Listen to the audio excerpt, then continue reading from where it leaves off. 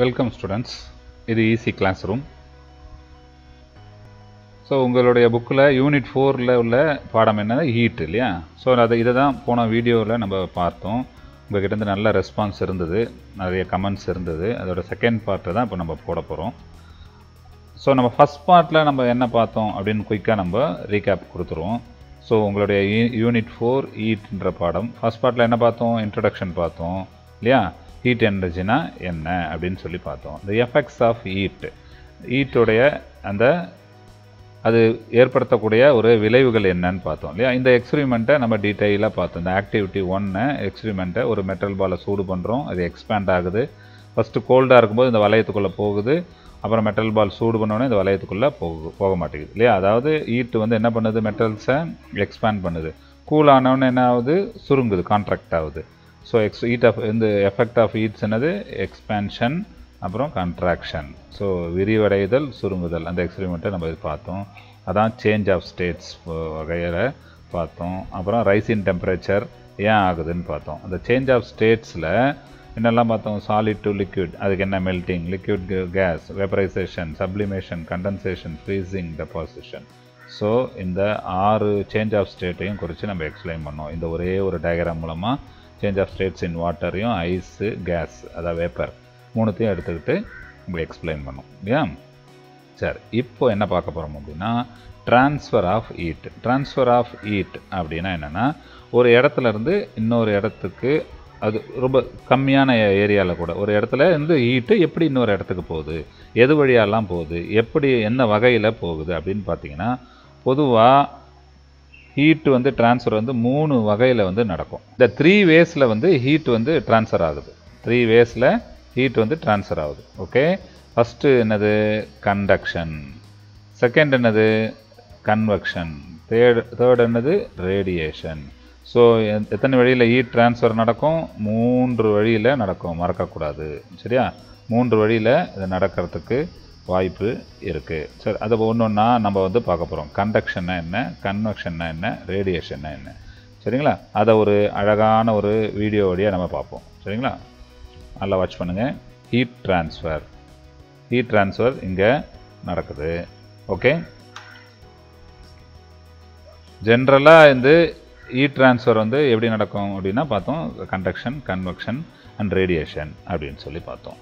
இப்போ அதில் ஒன்று ஒன்றா நம்ம பார்க்க போகிறோம். Conduction convection first conduction conduction வந்து மறக்கக்கூடாது. கண்டக்ஷன் எப்படி நடக்கும் அப்படின்னா heat transfer by molecular contact அங்கே ஒரு கான்டாக்ட் வந்து நடக்கும். தொடுதல் மூலமாக தான் அந்த ஹீட் ட்ரான்ஸ்ஃபர் நடக்கும். இப்போ உதாரணத்துக்கு ஒரு மெட்டல் ஸ்பூன் ஒரு சில்வர் ஸ்பூன்னு நினச்சிக்கோங்க உங்கள் வீட்டில் உள்ள ஒரு சில்வர் ஸ்பூன் எடுத்து ஹீட் பண்ணுறோம் ஒரு பக்கம் வந்து ஒரு பாருங்கள் வீடியோவில் தீக்குச்சி வச்சு ஹீட் பண்ணுறோம் ஹீட் பண்ணோடனே அந்த தீக்குச்சியில் இந்த நெருப்பு படுற இடம் மட்டும்தான் சூடாகுமா அப்படின்னா இல்லை இல்லையா? நீ இந்த எண்டு பிடிச்சிக்கிட்டு இருந்தீங்கன்னா அந்த எண்டும் சூடு கொஞ்சம் கொஞ்சமாக பரவி நம்ம கையை வந்து சூட ஆரம்பிச்சிடும் இல்லையா? நம்ம உடனே என்ன பண்ணுவோம்? ஐயோ அப்படி சுடுது கை சுடுதுன்னு ஸ்பூனை கீழே போட்டுருவோம் இல்லையா? ஏன் கீழே போடுறோம்? அந்த சூடு அந்த தீக்குச்சியில் உள்ள நெருப்பில் உள்ள சூடு வந்து அந்த மெட்டல் க வந்து படுது.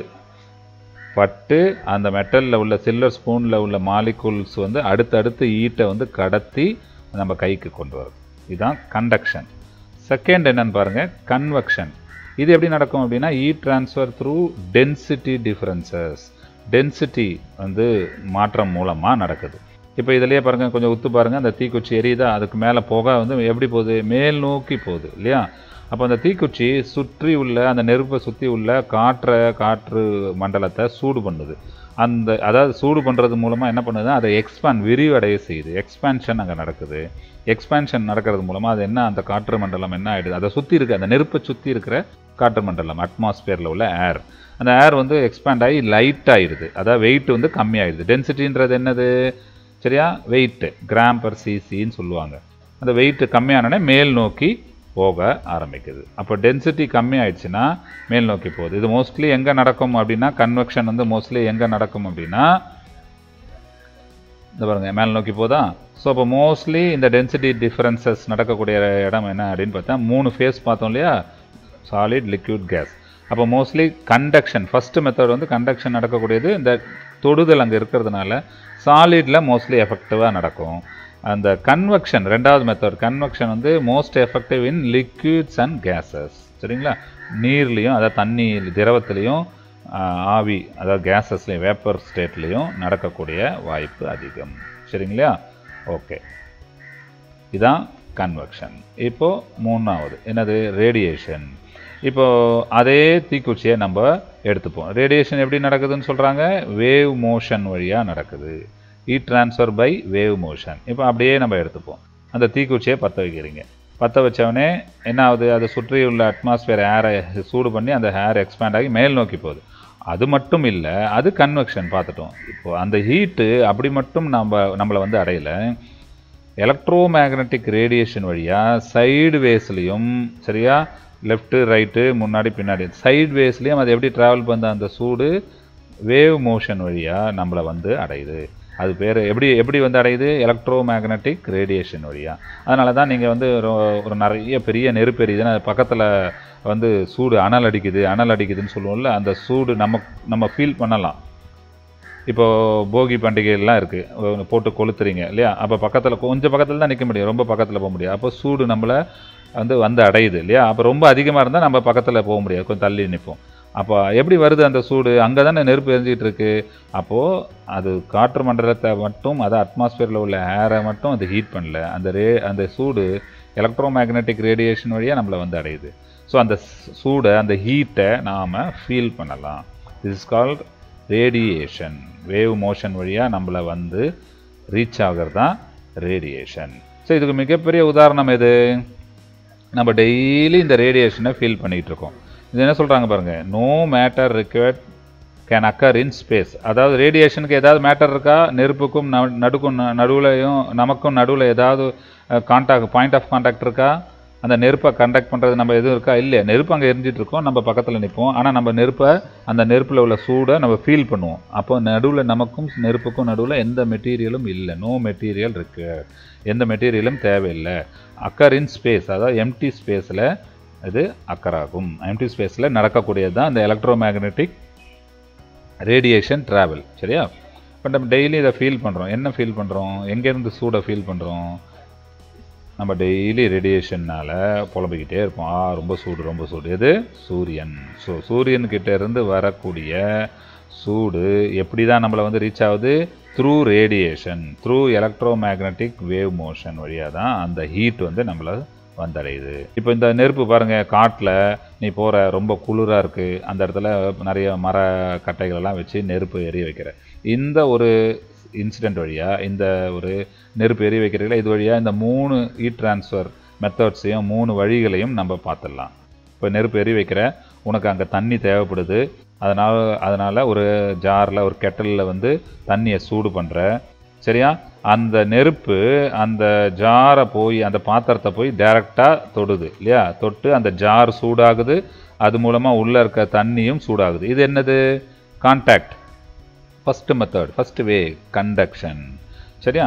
ரெண்டு அந்த நெருப்பு என்ன பண்ணுது? சுற்றி உள்ள காற்றை காற்று மண்டலத்தையும் சூடு பண்ணுது. அதனால் காற்று மண்டலம் டென்சிட்டி குறைஞ்சி சூடாகி மேல் போகுது. குளிர்ச்சியாக இருக்கிற ஏர் வந்து மறுபடியும் அது பக்கத்தில் வருது. இப்படியே சுற்றி சுற்றி நடக்குது.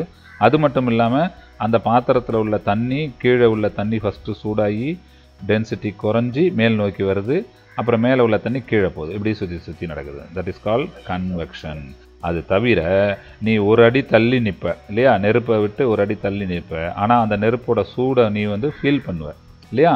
நெருப்பை நெருப்போட சூடை ஃபீல் பண்ணுவ. அது எப்படி ஃபீல் பண்ணுற அதான் ரேடியேஷன் அது அந்த நெருப்போட சூடை எலக்ட்ரோ மேக்னட்டிக் வேவ்ஸ் வழியாக வேவ் மோஷன் வழியாக நம்ம வந்து அந்த ஈட்டை வந்து ஃபீல் பண்ணுவோம். அதாவது இன்னொரு வகையில் சொல்லணும்னா அந்த சூடு அந்த நெருப்போட ஹீட் வந்து எலக்ட்ரோ மேக்னெட்டிக் ரேடியேஷன் வழியாக வேவ் மோஷன் வழியாக நம்மளை வந்து ரீச் ஆகுது.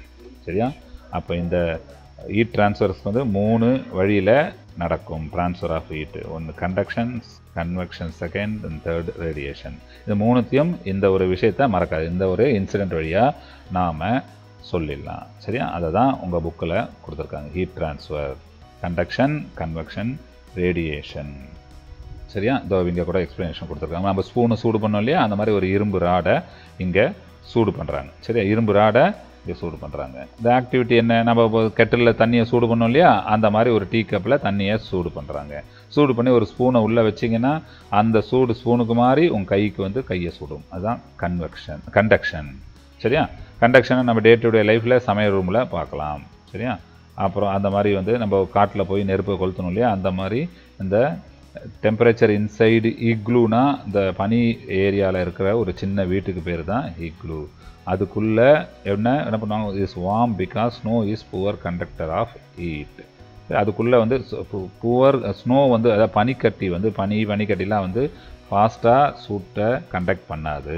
அதனால் உள்ளுக்குள்ளே சூடை வந்து நம்ம சூட் இன்சைடு வந்து அந்த இக்லுக்குள்ளே போயிட்டோம் அப்படின்னா சூட்டை வந்து ஃபீல் பண்ணலாம். சரியா வெளியே குளிர்ச்சியாக இருக்கும் இல்லையா?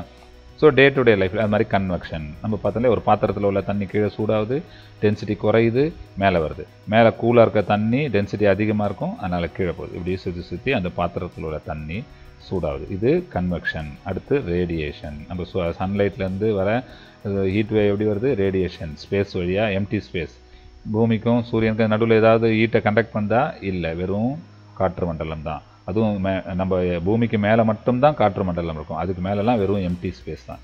ஸோ அது வழியாக வந்து ரேடியேஷன் பூமியை ரீச் பண்ணுது. Radiation in day to day life எப்படி நம்ம சூரியன்லேருந்து ஹீட்டை ஃபீல் பண்ணுறோம் சு கருப்பு சட்டை போட்டிருந்தா ரொம்ப சூடாக இருக்கும் உடம்பு. அதனால் வெள்ளை சட்டை போட சொல்லுவாங்க வெயிலில்.